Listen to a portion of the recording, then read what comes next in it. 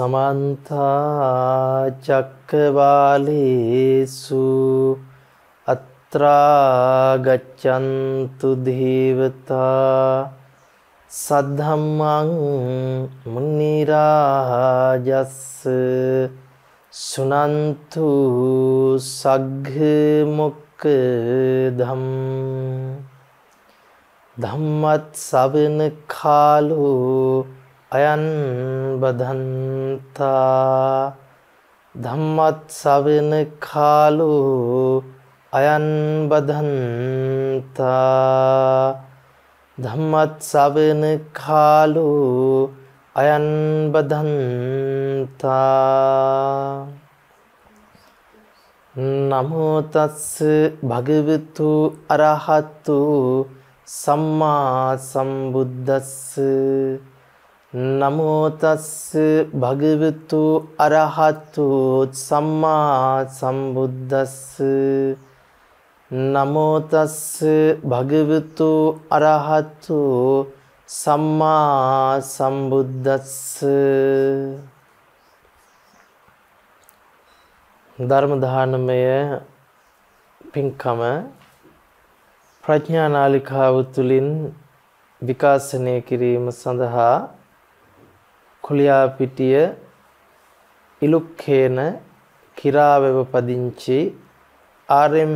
පියරත්න මහත්මයා සහ එස්.එම්.ඒ. සීලා සුබසිංහ මහත්මිය විසින් සදැහැති දායකත්වයේ සිදු කරනු ලබනවා විශේෂයෙන්ම මතක් කරනවා ධර්ම දානමය පින්කම සිදු කරලා ඒ තුලින් ආශිර්වාද සිදු කරනවා. කතන ආබාධිකින් පෙළෙන ආදරණීය තමන්ගේ මොනුබුරාවන දෙහාන් ඉන්සිලු සෙන්දනායක පුතුණුවන්ට ආශිර්වාද කිරීම. ඒ වගේම එවැනි ආබාධ ඇති සියලු දරුවන්ට නිදුක් නිරෝගී සම්පන්නිය සැලසෙන්නටත් මතු සසර මෙවන් ස්වභාවයකට පත් නොවේ. උතුම් ධර්ම අවබෝධී පිණිස හේතු සම්පatti සකස් වේවා කියන අරමුණත් හැමදිනාටම උතුම් ධර්ම අභිසමය වේවා කියන අරමුණු ඇති කරගෙන ධර්ම දානමේ පින්කම සිදු කරනු ලබනවා. අපි ධර්මයේ තුල ප්‍රධාන වශයෙන් සාකච්ඡාවට ලක් කරන කාරණා තුනක් තමයි ත්‍රිලක්ෂණ ධර්මය කියලා කියන්නේ. එතකොට විශේෂ මතක් කිරීමක් කරලා තියෙනවා ත්‍රිලක්ෂණේ මූලික කරගෙන ධර්ම දේශනාව සිද්ධ කරන්නට කියලා. අපේ ත්‍රිලක්ෂණ ධර්මයේ කිව්වම අපිට අනිච්ච සංඥාව, දුක්ඛ සංඥාව, අනාත්ම සංඥාව විදිහට අපි අහලා තියෙන. එහෙම නැත්නම් අනිත්‍ය දුක්ඛ අනාත්ම ධර්මතාවයේ විදිහට අපි ත්‍රිලක්ෂණය කිව්වම අපිට මතකයට නැගෙනවා. විශේෂයෙන්ම අපිට මේ ත්‍රිලක්ෂණය පිළිබඳව මතක් වෙනකොට ලෝකෙන්න ඕනම කෙනෙකුට අපි හිතමු බෞද්ධ ආගමික හෝ වෙනත් ආගමක් කියන මුහුණුවරකින් ගන්නෙ නැතිව අපේ සත්වයා මිනිස්සයා කියන තැනින් ගත්තොත් නිකන් අනිත්‍ය කිව්වම ඕන කෙනෙකුට නිකන් මතකෙට එනවා වෙනස් වෙලා යන ස්වභාවය කියන එක සියට නැගෙනවා. අස්තිර භාවය කිව්වම අපිට නිකන් ස්ථිර පැවැත්මක් නැති වෙනස් වෙන ස්වභාවයක් කියන එක දැනුම් යනවා තේරුම් යනවා. දුක කිව්වම අපිට රෙදෙන ස්වභාවයක්, වැළපෙන ස්වභාවයක්, චිත්ත පීඩා, හඬා වැළපීම් ගැන සිහිපත් වෙනවා. සිහිට එනවා. එතකොට අනාත්මයක් කිව්වට පස්සේ ආත්මයක් නෑ වගේ අදහසක් අපිට නැගෙනව මතකෙට නේද? එතකොට එවැනි අදහසකින් අපි අනිත්‍යයි දුක්ඛයි අනාත්මයි කිව්වට පස්සේ අපිට දැනෙන ඒ ස්වභාවය සහ මේ අනිත්‍ය දුක්ඛ අනාත්ම කියන ත්‍රිලක්ෂණ ධර්මයේ තුල ගැඹුරු අර්ථය කියන දෙපැත්තක් තියෙනවා.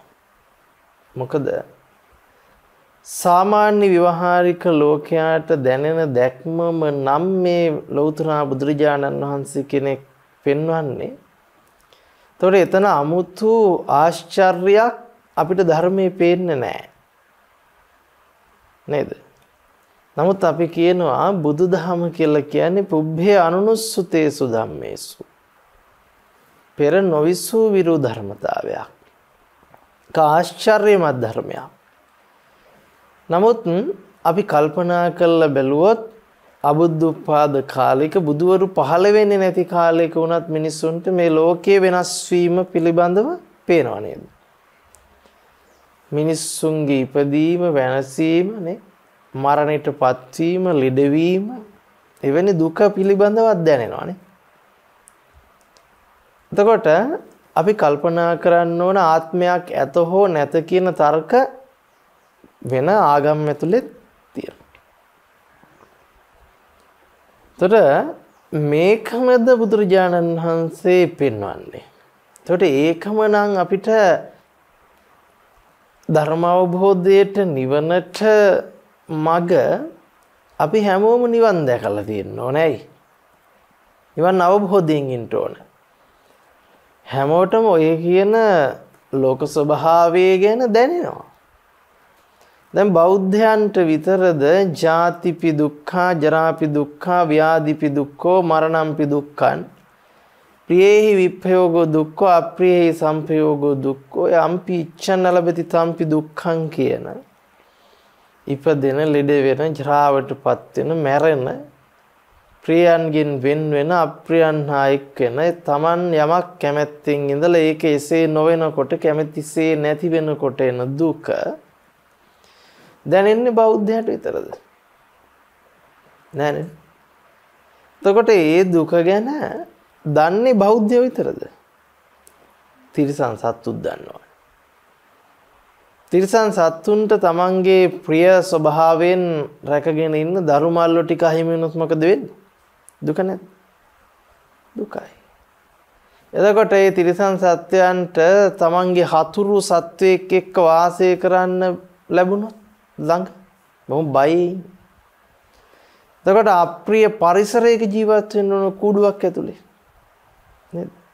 එතකොට අපි කල්පනා කරන්න ඕන මේ හැමෝම දන්න හැමෝටම තේරෙන දුක ගැන දුකයි දුකයි දුකයි කියලා කිය කියා හිටියට දැනගෙන හිටියට මතුරව්වට අපිට දුක්ඛත් සමුදයත් නිරෝධයත් මාර්ගයත් කියන චතුරාර්ය සත්‍ය අවබෝධ වෙන්නේ නැහැ. එතකොට චතුරාර්ය සත්‍ය අවබෝධයකින් තොරව අපිට මේ ත්‍රිලක්ෂණය එහෙම නැත්නම් අනිච්ච දුක්ඛ අනාත්ත කියන ත්‍රිලක්ෂණ ධර්මය අවබෝධ කරන්න පුළුවන්කම ලැබෙන්නේ නැහැ. එහෙනම් අපි බැලුවොත් සාම්ප්‍රදායිකව අපි බෞද්ධයෝ වශයෙන් බැලුවාම අපි බෞද්ධයෝ කියලා දන්නෙත් ඔය වචන ටික මතක තියාගෙන අර සමස්ත ලෝකයාම දන්න ටිකම නම් එතන බෞද්ධකමක් තියෙන්න බෑ නේද? ඒක ඇතුලේ අපිට තියෙන නාමික බෞද්ධකමක්. අපි පන්සල් යන නිසා, චෛත්‍ය බොමලු වන්දනා කරන නිසා අපිට නාමික උරුම වෙච්ච බෞද්ධකම විතරක් තියෙනවා. ඒක අපේ සංස්කෘතික අංගයක්. ඒ කියන්නේ අපි ජාතියෙන් ජාතියට ගත්තම ඒ ජාතියට ආවේනික විච්ච යම් සංස්කෘතියක් නිර්මාණය වෙනවා. තොර ඒ සංස්කෘතිය නිර්මාණය කරන්නේ ආගම ඇතුළේ. නමුත් අපි කල්පනා කළොත් බුදුරජාණන් වහන්සේගේ ධර්මය අයිති වෙන්නේ මොන ආගමකටද? දැන් ඔන්න බුදුරජාණන් වහන්සේ නමක් පහළ වෙන්න කලින් පෙර මේ ලෝකේ ආගම් තිබුණා. ඕන තරම් ආගම කියන එක තිබුණා. එතකොට ආගමක් කියලා කියන්නේ අපි ජීවිතේ අදහන විශ්වාස කරන ලබ්ධියක් නේද? එතකොට බුදුරජාණන් වහන්සේ පෙන්වන මේ ත්‍රිලක්ෂණය චතුරාර්ය සත්‍ය ධර්මයේ කියලා කියන්නේ විශ්වාසයෙන් අදහන ලබ්ධියක්ද විශ්වාසයෙන් අදහන්න ඕන දෘෂ්ටියක්ද? එතකොට අපි මේක කල්පනා කරන්න වෙනවා නේද? තර බුදුරජාණන් වහන්සේ ධර්මයේ දේශනා කළේ බුද්ධත්වයට පත් වෙලා චෛත්‍ය වන්දනා කරපු බෝධි වන්දනා කරපු පිරිසකටද අපි නිකන් බැලුවොත් නෑනේ නේ. තර බුදුරජාණන් වහන්සේ එහෙම පිරිසකට බණ කිව්වේ නෑ. නේද? ඒතර බුද්ධ ශාසනය ආරම්භෙලා කාලයක් යනකොට ධර්මයේ දැනගත්ත ධර්මයට පැහැදුණු සද්ධාවන්තයෝ ලෞතර බුදුරජාණන් වහන්සේට ශාසනයට කරන කෘතගුණ උපහාරයක් වශයෙන් නේද? ඒ වගේම සද්ධාව ඇති කරගන්න දැක බලා පැහැදෙන සිත ඇති කරගන්න පසු කාලීනව ධාතුන් වහන්සේලා තැන්පත් කරලා චෛත්‍ය ඉදි කරලා එතකොට බුද්ධත්වයට පත් වුණු බෝධින් වහන්සේට බුදුරජාණන් වහන්සේ කරපු අනිවිස ලෝචන පූජාව අනුව යමින්නේ ඒ කෘත ගුණ සැලකීමම මූලික කරගෙන බෝධි වන්දනාව කරගෙන පින එහෙම නැත්නම් සිතේ පැහැදීම කියන එක ඇති කරගන්නට අපි ගත්ත ක්‍රියාමාර්ග ටික තියෙනවා. නමුත් ඒ කාරණාව වැරදි නෙවෙයික සංස්කෘතිය පැත්ත. එතකොට ඒක අපේ බෞද්ධ සංස්කෘතියේ උරුමයක් එහෙම නැත්නම් බෞද්ධ සංස්කෘතිය රැකගෙන බෞද්ධ ආගමට එහෙම නැත්නම් බුදු දහම සංරක්ෂණය වෙන්නනේ ධර්මයේ පවතින වන වටපිටාව සකස් කරපු ක්‍රමවේදයක්. මොකද යම් කිසි කෙනෙකුට යම් සංස්කෘතියක් තුල හික්මීම තුල එහෙම නැත්නම් බෞද්ධ සංස්කෘතිය තුල හික්මීමම බුදුදහම අවබෝධයට යම් හේතුවක් වෙන බව දැකලා ඒ තුළ තමන්ගේ චිත්තසංතානගත ක්ලේශ ධර්මයන් තුනී කරගෙන හිත සංවර කරගෙන ඒ තුලින් ධර්මයේ ශ්‍රවණය කරන්නට අවශ්‍ය කරන වටපිටාව සැලසෙන්න පසුබිමක් වශයෙන් ඒ ටික අරගෙන ආපු එක හරි.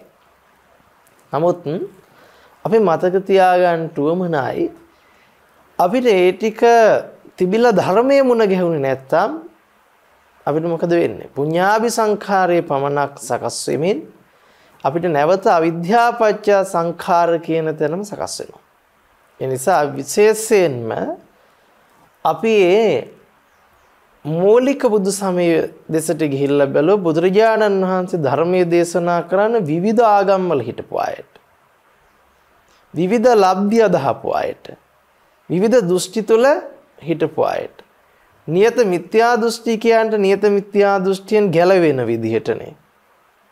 එහෙනම් අපි කල්පනා කළගත යුතුයි සබ්බේ සත්තා භවන්තු සුඛිතත්තානේ සියලු සත්වයන්ට පිහිට පිනිස හිතසුව පිනිස සුඛ විහරණයේ පිනිසයි ධර්මයේ දේශනා කළේ. එහෙනම් අපි ඇත්තටම නියම බෞද්ධයෙක් බවට පත් වෙනවා නම් ඒ පත් වෙන්නේ ධර්මය අවබෝධ කරගත්ත කෙනෙක් නේද? ධර්ම අවබෝධය තුළ හික්මිච්ච කෙනෙක්. එහෙනම් අපි කල්පනා කරගත යුතුයි මේ බුදුරජාණන් වහන්සේ පෙන්වන ධර්මය ලබ්ධියක් හෝ දෘෂ්ටියක් හෝ බැස ගැනීමක් නෙවෙයි. ඒක අවබෝධයක්. විශේෂයෙන්ම මේ අවබෝධය කියන එක අපි පෙන්වන්නේ දුක්ඛේ ඥානම් දුක්ඛ සමුදය ඥානං දුක්ඛ නිරෝධේ ඥානං දුක්ඛ නිරෝධ ගාමිනී පටිපදාය ඥානං. තර මේ කතා කරන ආර්ය සත්‍ය හතර අවබෝධ වෙන්නේ හතර වතාවකදී නෙවෙයි ඒක තමයි විශේෂත්වය.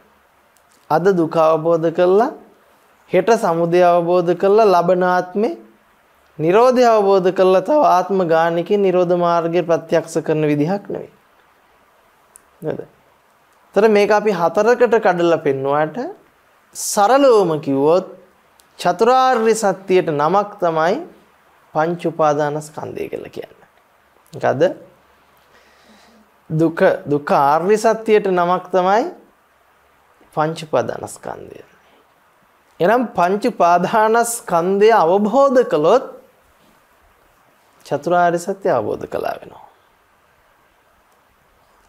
එහෙනම් කොටින්ම කියනවා නම් සංසිප්තවම කියනවා නම් අවබෝධ කරගත යුතු දුක මොකද්ද?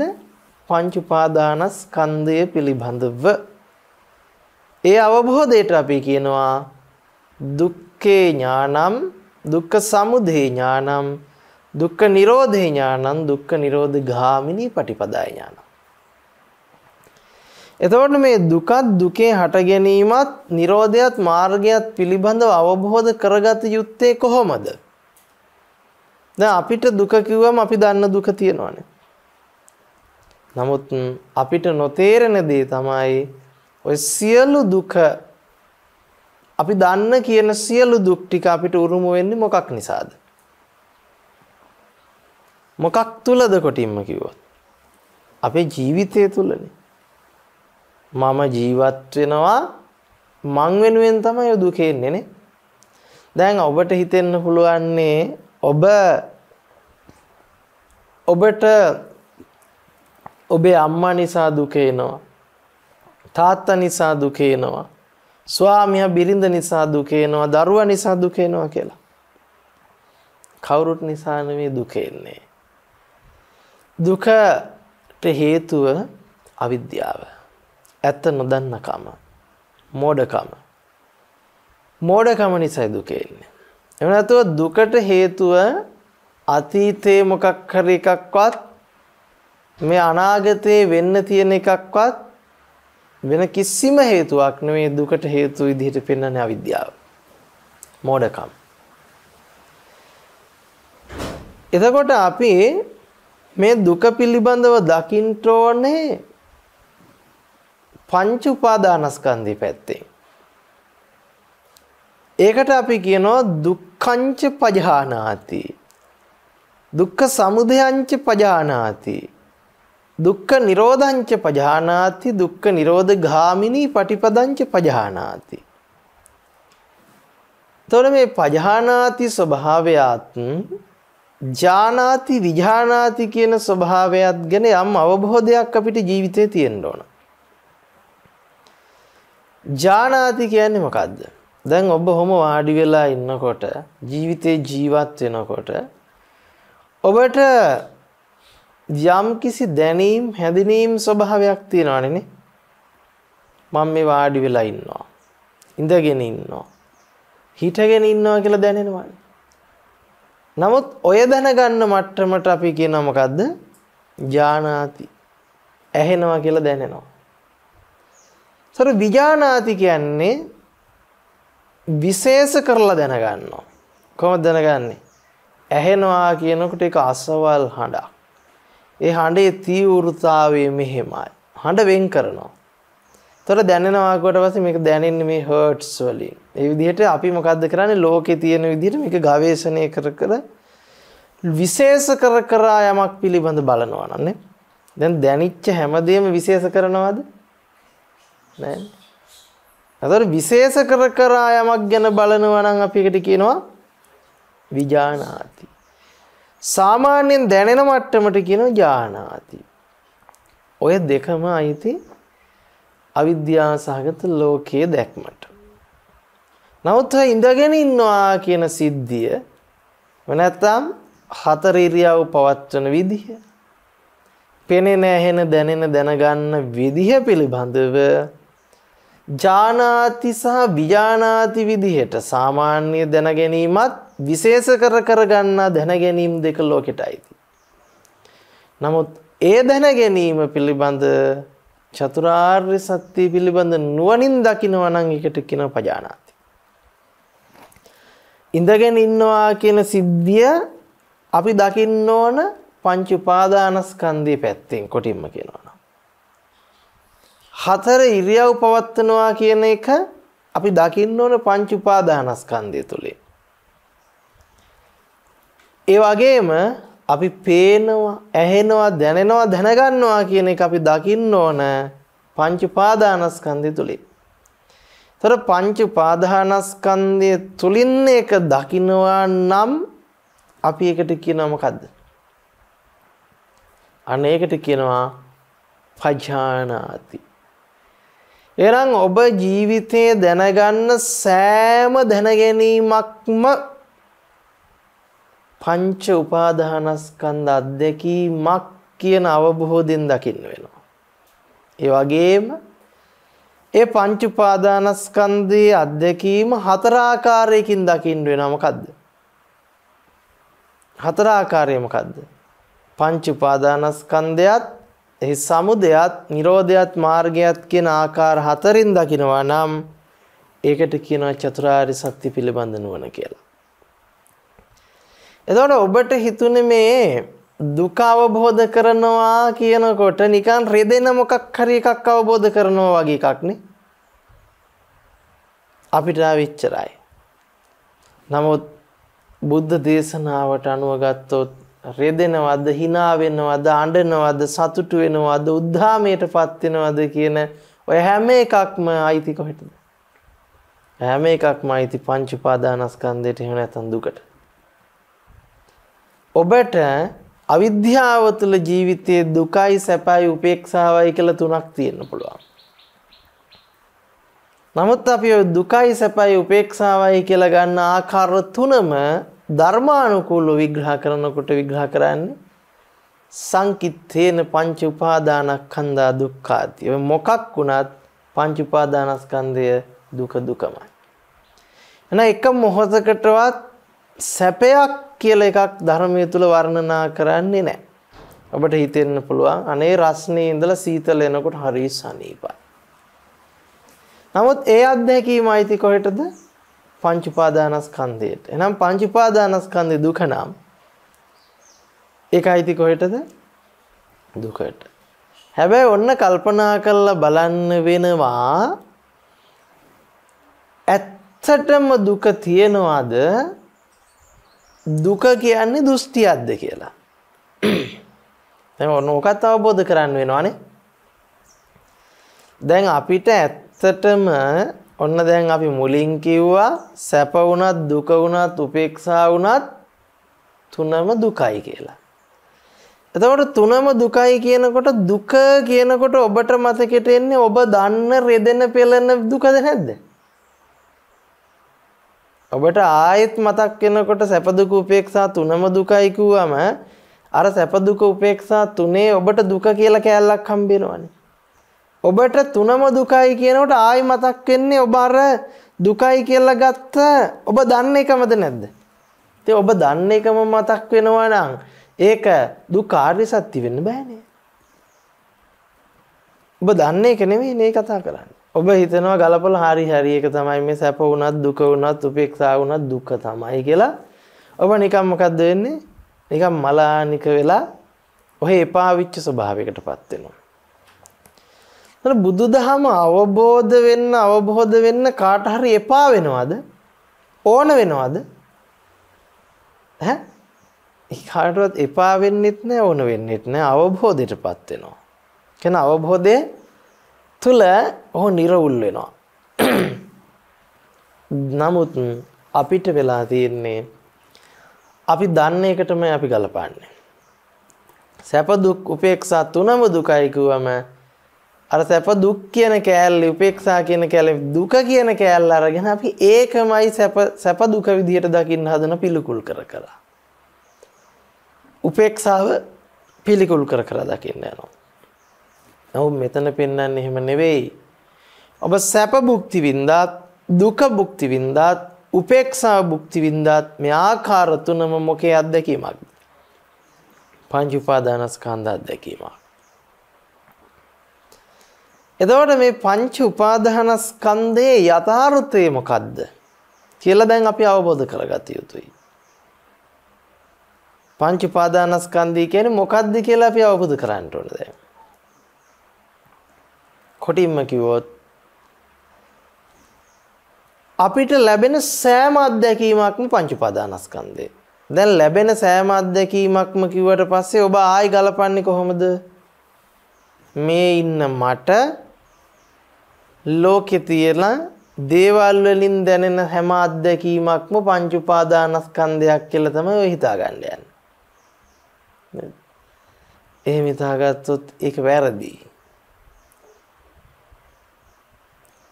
කොටින්ම කිව්වොත් මේ ඉන්න මට ලෝකේ තියෙන අත්දැකීමක් කියලා හිතෙන එකක් තියෙනවනේ. ඒකත් මොකේ අත්දැකීමක්ද? ඒකත් පංච උපාදානස්කන්ධ අත්දැකීමක්. එහෙනම් ඔබ ඔය පංච උපාදානස්කන්ධ අධ්‍යක්ීම තුල තමයි මාව පණවන්නේ ලෝකේ පණවන්නේ. එතකොට බලන්න මාවත් පනවගෙන ලෝකෙත් පනවගෙන පංච උපාදානස්කන්ධය ඇතුලේ ඇත්ත කරගත්ත මමයි ලෝකයයි කියලා දෙකක් හදාගෙන ඒක ඇතුලේ ආයෙ ඇත්ත බලන්න යනවා නම් මොකක්ද ඒ කරන්ට වෙන්නේ? බොරුව ඇතුලේ බොරුව කියලා බොරුව හදාගෙන බොරුව ඇතුලේ ඇත්තක් විච්ච දෙයක් හදාගෙන යමක් බලන්න යනවා නම් මොකක් වෙලා තියෙනවද? බොරුව ඇත්ත කරගෙන මොකද්ද? ඒක ඇතුලේ තව ඇත්තක් දකින්න යනවා. කොටින්ම කිව්වොත් හීනේ ඇත්ත කරගෙන හීනේ ඇතුලේ දේවල් භුක්ති විඳිනවා වගේ. ඕක තමයි වෙලා තියෙන්නේ. දැන් අපි කල්පනා කරගන්න වෙනවා අපි දැන් කවුරු හරි දුක තියෙනවා කියලා හිතාගෙන දුක නැති කරන්න යනවා නම් ඒ යන්නේ කාගේ දුක නැති කරන්නද? තමන්ගේ දුක නැති කරන්න යන්නේ. එතකොට තමන් හම්බුනේ මොක ඇතුලේද? පංච උපාදානස්කන්ධය ඇතුලේ. එතකොට තමන් ඇත්ත වෙච්ච හින්දාද නැද්ද දුක ඇත්ත වෙලා තියෙන්නේ? ඔය දුක සමුදය වෙලා තියෙන්නේ. එතකොට ඔබ මොකද්ද කරන්නේ? සමුදය කියන්නේ කොයිටද අයිති? අවිද්‍යාවට අයිති පංච උපාදානස්කන්ධ සමුදය. සමුදය ඇතුළේ ඉඳගෙන සමුදය නැති කරන්න හදනවා. සමුද්‍රය ඇත්ත කරගෙන ඒක නැති කරන්න. කොටින්ම කිව්වොත් මිරිඟුවේ වතුර ඇත්ත කරගෙන ඒකේ වතුර හිස් කරන්න හදනවා වගේ වැඩක් මේ කරන්නේ. ඔබ ඔබට ජීවිතයේ තියෙන දුක නැති කරගන්න හදනවා නම් ඒක ඔබේ ළඟේ තියෙන මෝඩකමක්. මම කියනවා කවදාකවත් ඔබ ළඟ දුක තියෙනවා කියලා හිතාගෙන ඒ දුක නැති කරන්න හදන තාක්කල් චතුරාර්ය සත්‍ය අවබෝධ කරන්න බෑ. මොකද්ද? ඔබ ළඟ දුක තියෙනවා කියලා හිතාගෙන ඒ තියෙන දුක නැති කරන්න උත්සාහවන්ත වෙන එක චතුරාර්ය සත්‍ය අවබෝධය නෙවෙයි. දැන් ඔබ හදන්නේ ඔබ හිතන් ඉන්නේ බුදුදහම තුල උගන්වන්නේ බුදුරජාණන් වහන්සේ අපිට කියලා දුන්නේ තම තමන් ළඟ තියෙන දුක නැති කරගන්න විදිහක් කියලානේ. දෙයියනේ. එතකොට තම තමනුත් ඇත්ත වෙලා දුකත් ඇත්ත වෙලා පංච උපාදානස්කන්ධය ඇත්ත කරගෙන මිරිඟුවේ වතුර ඇත්ත කරගෙන ඒ මිරිඟුවේ වතුර මොනා කරන්න හදනවද? අස් කරන්න ඕනේ කියලා කියනවා කවුරු හරි. මේක තමයි අපි සාම්ප්‍රදායිකව බෞද්ධ කියලා අපි කරගන්න හදන්නේ ඒක. ඒක නෙවෙයි බුදුදහම. දැන් ඔබ කල්පනා කරන්න වෙනවා මෙතනදි මෙහෙම. මුලින්ම කඩාගන්න වෙනවා ලෝකේ ජීවත් වෙන මම කවදා හරි නිවන් දැකලා මේ ලෝකයෙන් අයින් වෙනවා කියන දෘෂ්ටිය තියනකන් ධර්මය අවබෝධ කරන්න බෑ.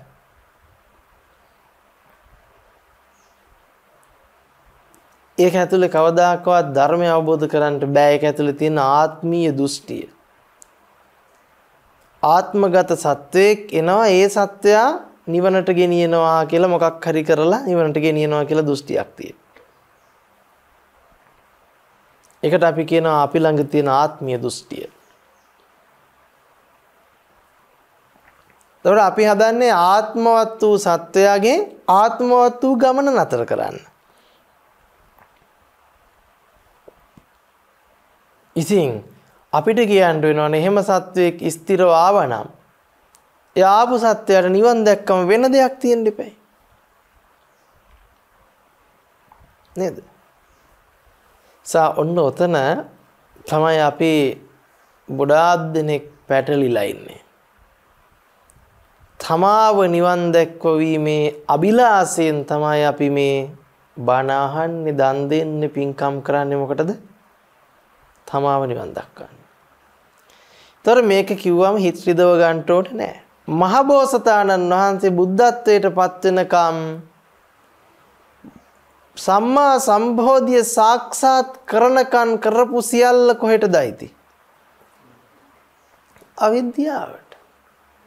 තොර පාරමිතා පිරුවේ සෝවන් වෙලාද? චතුරාර්ය සත්‍ය අවබෝධ කළාද? නැහැ. එහෙනම් පාරමිතාව කියන එක අයිති කොහෙටද? ඒකත් අවිද්‍යාවට අයිති. එතකොට ගලකින් ගහන්න පුළුවන් මෙන්න බුදුහාඳුරන්ට අපහාස කරනවා මේ උන්නාන්සේ පාරමිතාව අවිද්‍යාව කියලා කියනවා. ඉතින් පාරමිතාව ප්‍රඥාවද? ප්‍රඥා පාරමිතාව කියලා එක්කුත් තියෙනවානේ නේ. එතකොට තර්ක කරා එහෙනම් ওই ප්‍රඥා පාරමිතාව තිබුණ.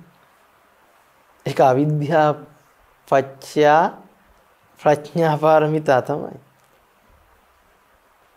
ඉතින් අපි හිතන ඒ ලෝකෝත්තර දැක්මක් බෝසතාණන් වහන්සේට නැහැ. ତර බෝසතාණන් වහන්සේට අවබෝධයක් තියෙනවද චතුරාර්ය සත්‍ය ගැන? දැක්මක් නැහැ. තර බෝසතාණන් වහන්සේ බුද්ධත්වයට පත් වෙනකොට ඒ බුද්ධත්වයේ තුල තමයි මොකද්ද වෙන්නේ? සියලු අවිද්‍යාව අවසි වෙන්නේ. එතකොට බෝසතාණන් වහන්සේ එතනම මොකක් වෙනවද? බෝසතාණන් වහන්සේ කියලා තිබුණු දෘෂ්ටි සියල්ල එතනින් බැහැරයි. නමුත් අපිට සම්මතයෙන් කතා කරනකොට කියන්න වෙනවා පාරමිතාව බුද්ධත්වයට උපකාර කළා. මොකද ඒක අපි නෑ කිව්වොත් අපි සම්ප්‍රදායට විරුද්ධයි. නමුත් බුද්ධත්වය කියලා කියන්නේ කවදාකවත් මොකද්ද? ලෝකෙට අයිති දෙයක් නෙවෙයි. බෝසතාණන් වහන්සේ කියලා අවිද්‍යාවෙන් ආපු ගමන බුද්ධත්වයේ තුලදී ඉක්මවනවා. කොටින්ම කිව්වොත් අවිද්‍යාව ඉක්මවනවා පංච උපාදානස්කන්ධය ඉක්මවනවා. ඒ නිසා අපි මේ කර්මානුරූපීව අවිද්‍යා සහගතව කතා කරන සසරයි පටිච්ච සමුප්පන්නව හේතුඵල නිහායිකව කතා කරන ධර්මතාවයයි දෙක පටලවා ගන්නට හොඳ නැහැ. තේරුණා? ඔය දෙක පටලවා ගත්තොත් අපි එක්කෝ කර්මයේ කර්මඵලයේ විශ්වාස නොකරන නියත මිත්‍යා දෘෂ්ටිකෙක් වෙයි. එහෙම නැත්නම් කර්මය සහ කර්මඵලයේ පමණක් කරේ තියාගෙන දුවන ආත්මවාදීෙක් වෙයි. ওই දෙකෙන් මොකක් හරි එකකට බෑ ගන්න. තර අන්ත සියල්ල ප්‍රතික්ෂේප කිරීම හෝ පිළිගැනීම නෙමෙයි බුදුදහම තුල තියෙන්නේ ඔය සියල්ල ඉක්මවීම. සියලු අන්තයන් ඉක්මවන ප්‍රතිපදාවක්. හරි. දැන් අපි ගත්තොත් පංච උපාදානස්කන්ධ මට්ටම කියලා කියන්නේ අපි කිව්වා ලබන සියලු අත්දැකීම් ටික කියලා. එතකොට ලබන සියලු අත්දැකීම් කිව්වම පේනවා කියනකොට මෙයාට මේක පේනවා විතරක් නෙවෙයි. එතකොට මෙයා පේනවා කියන සිද්ධියක් පෙනීමක්. එතකොට අපි තමයි මෙයයි මෙයයි අරකයි මේකයි කියලා දෙපැත්තක් දාගෙන තියෙන්නේ. එතකොට පේනවා කියන සිද්ධිය ඇහෙනවා කියන සිද්ධිය. එතකොට ඒ දිඨ සුත මුත විඤ්ඤාත. පෙනෙන ඇහෙන දැනෙන දැනගන්න. එතකොට ආය නැවත කිසිම වෙලාවක ගන්ට එපා මෙයාට පේන කියන තැනකින්. පේනවා කියනකොට මේ පෙනීමත් අයිති. දැනෙනවා කියනකොට මේ දැනීමත් අයිති. තොර දැනෙනවා කියන සිද්ධිය ඇතුළේ තමයි තියෙන්නේ මොකද්ද? මෙයා යමක් දැනගන්නවා කියන දෘෂ්ටිය. පේනවා කියන එක ඇතුලේ බැහැගෙන තමයි තියෙන්නේ මෙයාට යමක් පේනවා කියන කතාව. දෙපැත්ත නිතරම තියෙන්නේ මොකක් ඇතුලේද? පංච උපාදානස්කන්ධයට බැහැගෙන කියන බව මතක තියාගන්න. තොර අපි මේ කතා කරන ලබන සෑම අත්දැකීමක්ම සරලවම කිව්වොත් පංච උපාදානස්කන්ධ අත්දැකීමක් කොටින්ම කිව්වොත් චතුරාර්ය සත්‍ය අත්දැකීමක් දුක සමුදය නිරෝධ මාර්ගය පිළිබඳ අත්දැකීමක් අවබෝධය පමණයි නැත්තේ. ඒ දුක සමුදය නිරෝධ මාර්ගයේ පිළිබඳ අත්දැකීම තුල අපිට නිරෝධ මාර්ගය කියන එක ප්‍රත්‍යක්ෂ නැහැ දුක සමුදය කියන එක බදාගෙන තියෙනවා. ඔය දුක සමුදය ඇතුලේ තියෙන නිරෝධ මාර්ගය පේන්නේ නැහැ. කොටින්ම කිව්වොත් මිරිඟුවේ තියෙන වතුර පේනවා මිසක් මිරිඟුවක් බව පේන්නේ නැහැ. මායාව ඇත්ත වෙලා මිසක මායාවක් බව පේන්නේ නැහැ කියන එක. දැන් මායාව පෙන්නකොට ඇත්ත වාගේ. ඒකේ ඇත්ත කොටස පේනවා මිසක් ඒකේ ඇතුලේ තියෙන මායාකාරී ස්වභාවය පේන්නේ. මිරිඟුවේ මිරිඟු කොටස ගැන දන්නේ වතුර බවට පිළි අරන් තියෙනවා. ඒක තමයි වෙලා තියෙන්නේ. එහෙනම් අපි මෙතන වෙනස් කරගත යුත්තේ මොකද්ද? වතුර බවට පිළිගෙන තියෙන එකේ මිරිඟුව මොකද්ද කියලා අවබෝධ කරගන්න ඕන. එච්චරයි. ලෝකයයි මමයි කියලා පිළි අරගෙන තියෙන තැන කොටින්ම කිව්වොත් පෙන පිඩක් වැනි දිය බුබුලක් වැනි මිරිඟුවක් වැනි කෙහෙල් කඳක් වැනි මායාවක් වැනි අත්දැකීමක් විදිහට ප්‍රත්‍යක්ෂ වෙන්න ඕන. කියන්නේ නැති දෙයක් ඇති විදිහට පෙන්වනවා කියලා නැති දෙයක් කිව්වම මතක තියාගන්න මෙතන කිසිම කලක ආයි දෙයක් ගැන කතා කරනව නෙවෙයි මේ. ඉතින් වෙන වචනයක් තියෙන්න දෙපැයි. සකස් වෙලාම නැති තැනක කියලා ගත්තම මේ තැනක් නෙවෙයි නැවත කතා කරන්නේ. සකස් නොවිච්ච නොවීම කියන ස්වභාවය.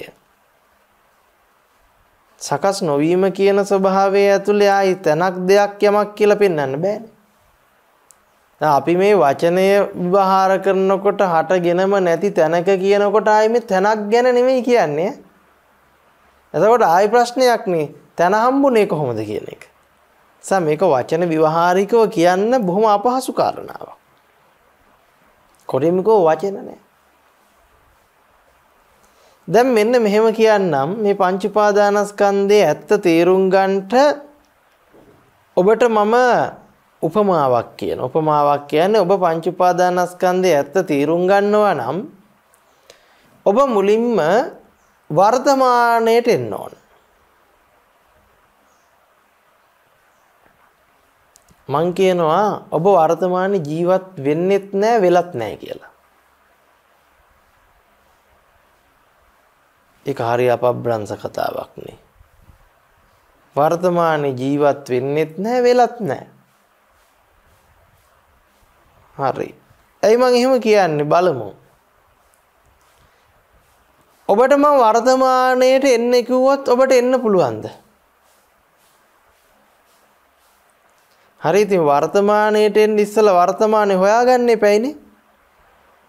වර්තමානයට එන්න නම් වර්තමානයේ මොකද්ද කියලා ඉස්සලා හොයාගන්න වෙනවා. හරි. වර්තමානයේ හොයාගන්න නම් ඔබේ අතීතයේ පැත්තක තියන්න වෙනවා. අතීතයත් එක්ක අල්ලගෙන වර්තමානයේ හොයන්න බෑ. එහෙනම් අතීතයෙන් බින්දු මාත්‍ර දශමයක්වත් ගන්න බෑ. කොටින්ම කිව්වොත් දැන් ඔබ මේ වෙලාව කියලා හිතන දෙයක් තියෙනවනේ.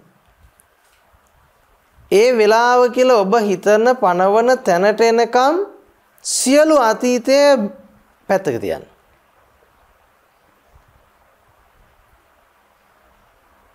එතකොට අනාගතය ඉවරයිද නැද්ද?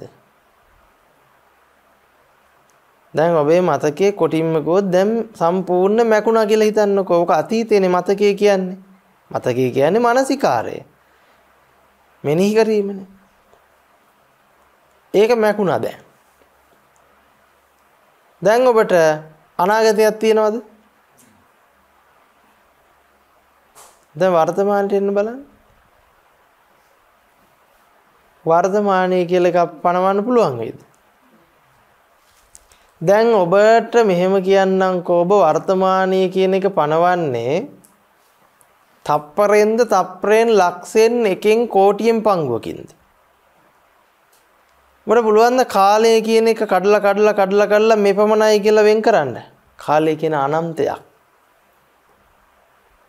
ඔබ අන්ත පනවලා තියෙන්නේ තප්පර වලින් මිලි තප්පර වලින් නැනෝ තප්පර වලින් පනවගත සංකල්පයක් විතරයි කාලය කියන්නේ. කාලයේ සංකල්පයක් මිසක කාලයේ යථාර්ථයක් එතකොට අතීතයයි අනාගතයයි පැත්තක තිව්වම වර්තමානයේ මොකක් වෙලාද? වර්තමානයේ හම්බ වෙන්නෙම නැහැ. වර්තමානයක් කියලා දෘෂ්ටියක් හදන්න බෑ. ඒතකොට වර්තමානයක් කියලා දෘෂ්ටියක් හදන්න බැරි නම් වර්තමානයේ ජීවත් වෙන්නේ කවුද?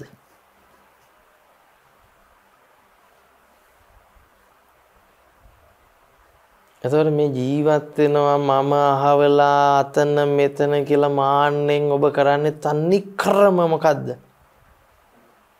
මෙනෙහි කිරීමක් විතරයි. මානසිකාරයක්. කොටින්ම කිව්වොත් සබ්බේ පොතුජ්ජනික උම්මත්තකා. තර ඔබට මේ ඔබ කියලා තියෙන සම්පූර්ණයෙන්ම උම්මත්තක භාවයක්. එතකොට දැන් ඇත්තටම දුක පණවන්න වෙන්නේ කෙනෙක් කියලා පණව ගන්න තැනද නැද්ද දුක පණවන්න වෙන්නේ දුක පණවන්න වෙන්නේ කෙනා ළඟ දුක පණවන්න වෙන්නේ ලෝකයේ තුල ඇත්තම යථාර්ථය මොකද්ද මේ සමුදය කියලා පෙන්වන ස්වභාවයේ ඇත්ත මොකද්ද නිරෝධය සකස් නොවීම.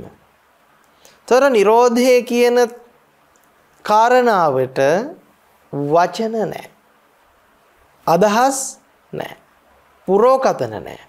බැස ගැනීම නැහැ. තැනක් දෙයක් යමක් විදිහට ලබ්ධි ගැනීමක් නැහැ. නිරෝධය තමයි නිවීම කියලා කියන්නේ. ඒක තමයි නිවන. ඇත්තටම යථා ස්වභාවයම නිවනයි. අවිද්‍යාව තුළමයි මොකක්ද දුක කියන එක සමුදය වෙන්නේ. පංච උපාදානස්කන්ධය ඒ යථාර්ථය නම් නිරෝධයයි.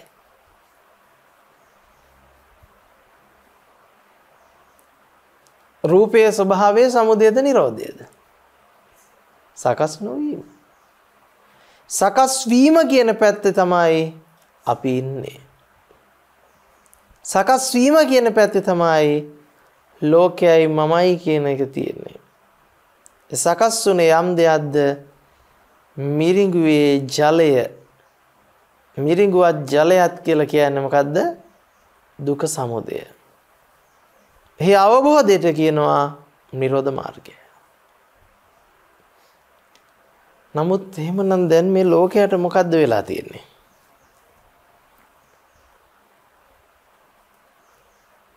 ඇත්තටම අපිට ප්‍රශ්නයක් තියෙනවද විසඳන්න? දැන් ඔබ මහා ලොකුවට මහා පීඩනයකින් දුකයි දුකයි දුකයි දුකයි කියලා මේ ඉන්න එක ඇත්තටම මානසික ලෙඩක්ද නැද්ද? මේක තමයි රෝගේ. මේක තමයි සංසාර රෝගී කියලා කියන්නේ. එහෙම විඳවන්න දෙයක් තියෙයිද ඇත්තටම? දැන් මේ කවුරු වෙනුවෙන්ද දුක් වෙලා තියෙන්නේ? තියෙන්නේ මේ මිරිඟුවේ වතුර නැති වෙයි, හිස් වෙයි, හොරු ගනි නේ? මිරිඟුවේ පාට නැති වෙයි, මිරිඟුවේ හැඩය නැති වෙයි කියලා විඳවනවා, විඳවනවා, විඳවන එකේ සීමාවක් නැහැ. කෙරවලක්.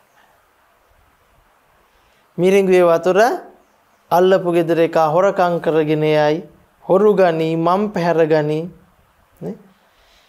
මිරිඟුවේ වතුර මට නැති වෙයි දැන් මිරිඟුවේ වතුර තමයි ඔබට ඉන්න ඔබත් ඔබේ කියන සියල්ලත්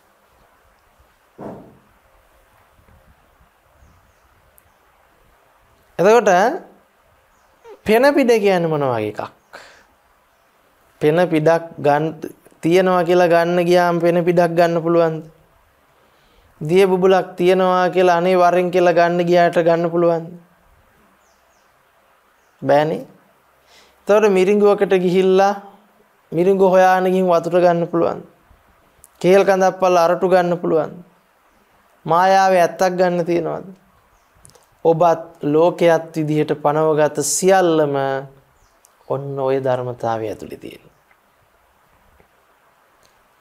දැන් ඔබ මොකද්ද කරන්නේ පෙන පිඩ ළඟට ගිහිල්ලා අනේ මගේ පෙන පිඩ දැන් පෙන පිඩට උපමානේ මගේ දරුවා දරුවා විච්ච පෙන පිඩ බිරිඳ විච්ච පෙන පිඩ ස්වාමියා විච්ච පෙන පිඩ මගේ ගෙදර රන් රිදී මුතුමැණික් විච්ච පෙන පිඩ දිහා බලාන කියලා හලනවා අනේ මගේ මගේ.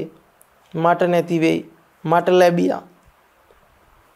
ජීවිත කාලෙම මගේ මගේ කියලා හිටියත්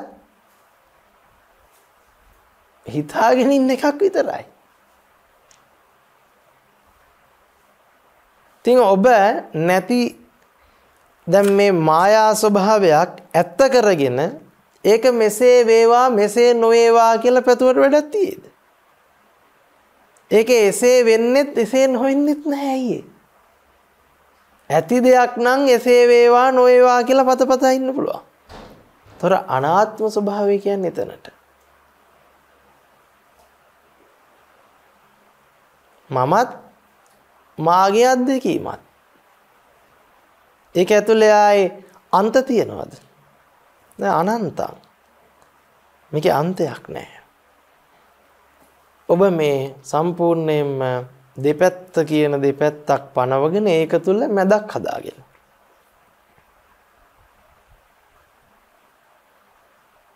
ඔය බොරුවට තමයි අහු වෙලා තියෙන්නේ. ඔකට කොට වෙලා.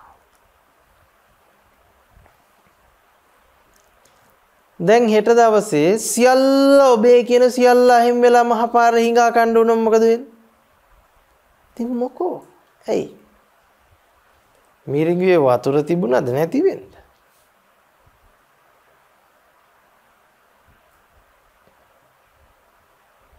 දැන් ඔබ දුක් වෙන්නේ මිරිඟුවේ වතුර තිබුණා මට ලං කරගන්න බැරි වුණා ඒක දුර ඈතට ගියා කියලා. දැන් ඔන්න මායා දර්ශනයක් පෙන්නනවා. ඒකේ පෙන්නනවා පුදුම දේවල්. ඔබ හිතනවා අනේ මට ගන්න තිබුණා නම් මේකේ තියෙන දේවල් සල්ලි නෑනේ සල්ලි නෑනේ කියලා. මිල මුදල් නෑනේ. දැන් මායාව පෙන්නලා ඉවර වෙනවා.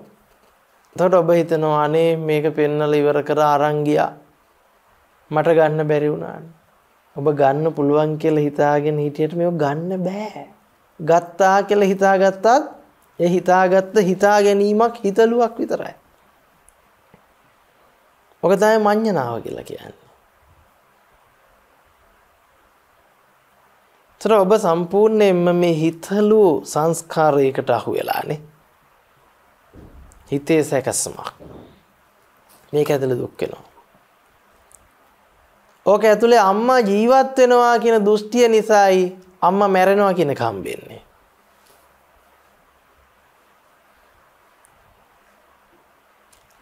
අම්මා කියන අත්දැකීමම පංච උපාදානස්කන්ධේ නිරෝධ මාර්ගී බව ප්‍රත්‍යක්ෂ වෙච්ච තැන අම්මා නිසා එන්න තිබුණු දුක නිරෝධයි. දුක ඉක්මවලා. දැන් එතකොට මේක තනිකර උම්මත්තක භාවයක් කියන එක ඇත්ත. මේක ගලවන්න බැරි තරම් දුෂ්ටි ජාලයක් කියන එක ඇත්ත. මේක හිතාගන්න බැරි තරම් දුෂ්ටි ගොඩක්.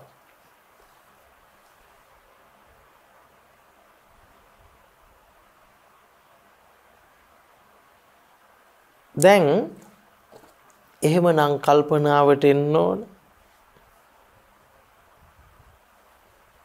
අපිට වටිනවා කියලා හිතන් ඉන්න සියල්ල නැති වෙලා ගියත් සෝවාන් ඵලය සාක්ෂාත් කරලා නම් ඔහු. පාර හිඟා කෑවත් ප්‍රශ්නයක් ඇයි එහෙම කියන්නේ? ඔහුට නැති වෙන්න දෙයක් නෑ කියන අවබෝධය වැඩ කරන නිසා.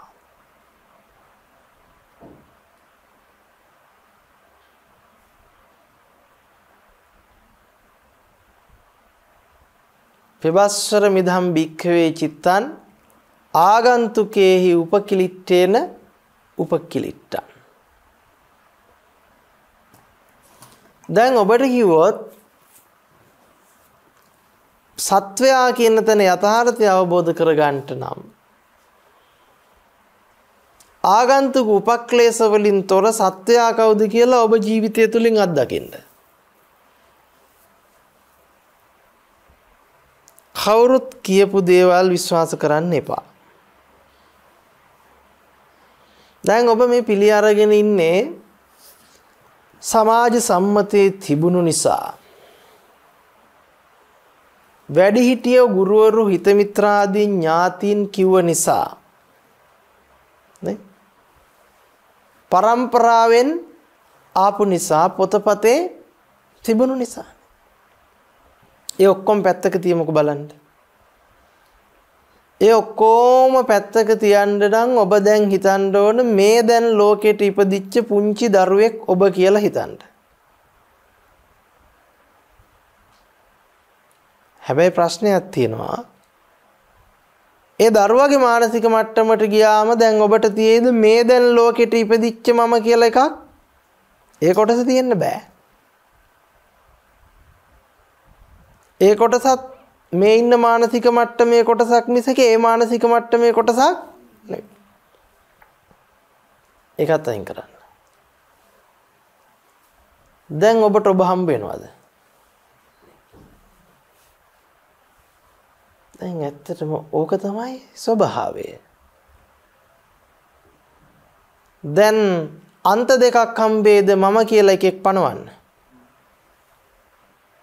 අන්ත නැහැ. ලෝකයයි මමයි කියලා පිහිටන්න විඥාණයට බැහැගන්න විදිහක් නැහැ. ඔය යථාර්ථය. යථාර්ථයේම Nirodhaය. තම බලන්නකෝ ඕකනේ කිව්වේ බුදුරජාණන් වහන්සේ කවුරුත් කිව්වට සමාජයෙන් ආවට මම කිව්වට අරයා මෙහා කිව්වට පිළිගන්න එපා. ප්‍රත්‍යක්ෂේම නිරෝධයද නැද්ද?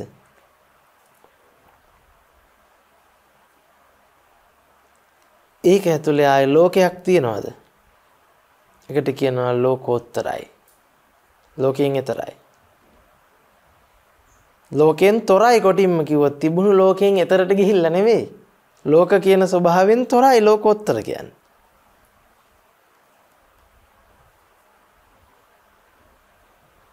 එතකොට මේ දුක් විඳේ කවුද දුක නැති කරන්නේ? එතකොට Nirodhaය කියලා කියන්නේ නැති කරන එකක් නෙවෙයි. Nirodhaය කියන්නේම සකස් නොවීමට උදා නොවීමට. දැන් ඒ ස්වභාවය ඇතුලේ තැති ගන්න හෝ බිය වෙන්න හෝ නැති වෙන්න හෝ ඇති වෙන්න කියලා යමක් දෙයක් තියෙද? ඒ ස්වභාවයට වචන දිය නොහැකි.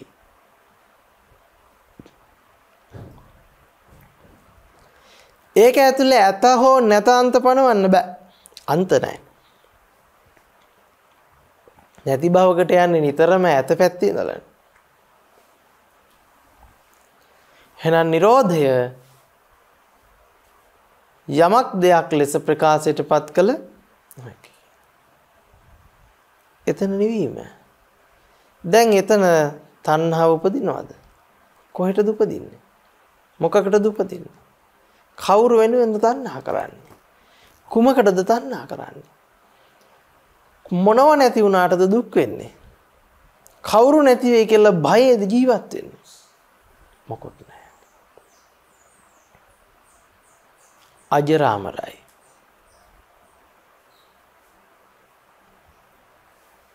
අපි නිකම්ම නිකං මගේ දුක නැති කරන්න කියලා මොන මොනව හරි කරගෙන හිත ඇතුලේ උපේක්ෂාවක් හදාගෙන ඕක නිවන කියලා ඕක අල්ලාගෙන අනේ මන් නිවන් දැක්කා නිවන හරිම ආශ්චර්යමත් නිවන කියන එකට ගියාම පා වෙනවා නේ උඩ යනවා හිරි වැටෙනවා වෙවුල්ලනවා කියලා එකක් හදාගත්තොත් එහෙම එකක් නෙවෙයි නිවීම කියන එක. එනිසා අපි නිවන් දැකලා අරවා වෙයි මේවා වෙයි කීකේ බලන් ඉන්න හොඳ නෑ. අපි හිතන් ඉන්නේ මට මන්ට නිවන් දැක්කම පාඩුර්භූත වෙනවා. මොකක් හරි හොම එකක් හිතන් ඉන්නවනේ. වමන යනවා, බඩ යනවා, කොන්දරේ දෙනවනේ, රැස් විහිදෙනවා. මේ වගේ අපබ්‍රංශ ගොඩාක් ඔළුවේ තියාගෙන. මොනවා හරි දෙයක් වෙනවා නම් එතන නිවන නෙවෙයි බව මතක තියාගන්න. නිවීමේ මොනවත් වෙන්න බෑ. අනුමතරමේ නිවීමේ නැලවෙනවා වගේ සැනසෙන්නත් ඒක අපි හිතාගන්න ඉන්න ආමිසයක් නෙවෙයිමයි. කොටින්ම කිව්වොත් නිරෝධය වචනයකින් ප්‍රකාශ කළ නොහැකි සහ ලැබිය නොහැකි අත්දැකීම.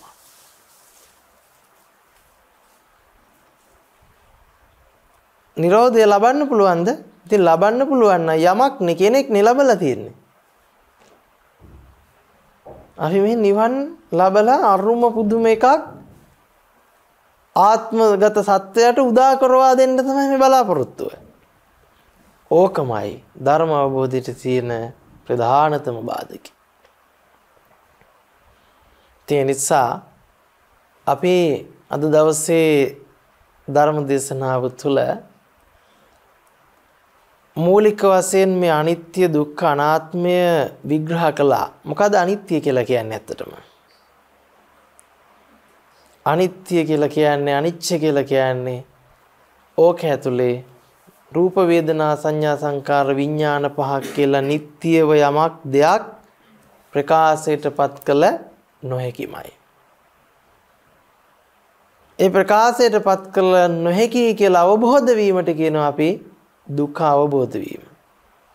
එතකොට මේ අපි අනිත්‍යයි දුක්ඛයි කියනකොට අපි දන්න රෙදෙන දුක ගැන නෙවෙයි කියන්නේ මේ අවබෝධය. දුක්ඛේ ඥානං දුක්ඛ සමුදය ඥානං දුක්ඛ නිරෝධේ ඥානං දුක්ඛ නිරෝධ ගාමිනී පටිපදා ඥාන. ඒ අවබෝධය එනකොට හොදන්නවා ආත්ම දෘෂ්ටියක් මේකට පතිත කරන්න බෑ ආත්ම දෘෂ්ටියෙන් තොරයි. එහෙම නැතුව ඉන්න ආත්මයක් නිවනට ගෙනියනවත් ආත්මය නැති කරනවත් නෙවෙයි කියන අවබෝධයට පත් වෙනවා. අනාත්මය ප්‍රත්‍යක්ෂ කරනවා. නේද? එහෙනම් ඒක ඇතුලේ හරසුන් වූවක්සේම වැටෙන්න පටන් ගන්නවා. ඉතින් මෙන්න මේ ත්‍රිලක්ෂණ ධර්මයන් අවබෝධ කරගනිමින් උතුම් ධර්මාභිසමයේ පිණසම අද දවසේ සාකච්ඡා කරන්නට යෙදුනා වූ ධර්ම කාරණාවන් හේතු උපකාරක ධර්මයක් බවටම පත්වෙත්වා කියන ප්‍රාර්ථනාව සිදු කරනවා. විශේෂයෙන්ම ධර්ම දානමේ පින්කම ප්‍රඥානාලිකාව තුළින් විකාශනය කිරීම සඳහා සදැහැති දායකත්වයේ සිදු කරනු ලැබුවේ කුලියාපිටිය ඉලුක්කේන කිරාවෙව පදිංචි ආර්.එම්. පියරත්න මහතා සහ එස්.එම්.ඒ. සීලා සුබසිංහ මහත්මිය විසින් විශේෂයෙන්ම ධර්ම දානමය පින්කම සිදු කිරීමේ අරමුණ බවට පත්වෙන්නේ කතන ආබාධයකින් පෙළෙන ආදරණීය මුණුබුරා වෙන ධ්‍යාන් ඉන්සිලු සෙන්දනායක පුතුණුවන්ට ආශිර්වාද කිරීම එවැගේම එම පුතුණුවන් ඇතුළු සියලුම ආබාධිත දරුදරියන්ට නිදුක් නිරෝගී සම්පන්නිය මෙවන් ස්වභාවයකටපත් නොවි ධර්ම අවබෝධී පිණිස හේතු වේවා කියන උතුම් ආශිර්වාදය සිදු කරනවා. ඒ වගේම වස්සලා දියණය මංජුල බෑනුනුවන් චතුරංග පුතුණුවන් සිරාණී ලේලිය ඇතුළු ධ්‍යාන් බිනවි ගෝසද දේශද යන මුණුබුරන්ටද නිදුක් නිරෝගී සුවපත් භාවය දීර්ඝායුෂ සම්පන්නිය උතුම් ධර්ම අවබෝධය ප්‍රාර්ථනා කරනවා. ඒ වගේම දෙපාර්ශ්වයේම පරලොව සපත් දෙමාපියන් ඇතුළු සියලුම සහෝදර සහෝදරියන්ටත් ධර්ම දානමේ පින්කමෙන් ජනිත වන සියලු පුණ්‍ය කුසල වාසනාවන් අනුමෝදන් වේවා. භවගාමී සසර දුක් කෙරවල කර උතුම් ධර්ම අවබෝධයම සාක්ෂාත් වේවා කියන ප්‍රාර්ථනාව එයතන් විසින් සිදු කරනු ලබනවා ඒ වගේම ගෞරවනීය දේශකයාණන් වහන්සේටත් සියලුම ධර්මය දේශනා කරන දේශකයන්න් වහන්සේලා ඇතුළු මහා සංඝරත්නයටත් දායකත්වයේ දරූ සියලු දෙනාටත් ලක්වාසී ලෝකවාසී සියලු සත්වයන්ටත් උතුම් ධර්ම අවබෝධීම සාක්ෂාත් වේවා කියන ප්‍රාර්ථනාව සිදු කරනු ලබනවා. ඒ වගේම අපවත් වී වදාළ පූජ්‍ය බෙලිගල මීමුරේ ධම්මවංශ ස්වාමින් වහන්සේ ඇතුළු අපවත් වී වදාළ සියලුම මහා සංඝරත්නයටත් උතුම් නිර්වාණයේ පිණසම ධර්ම දානමය පින්කම හේතු වේවා වාසනාව වේවා කියන ප්‍රාර්ථනාව සිදු කරනවා. හැම දිනාටම තිරුවන් සරණයි. යහපතක්ම වෙත්වා. දේශක්ඛයෝ निभागम्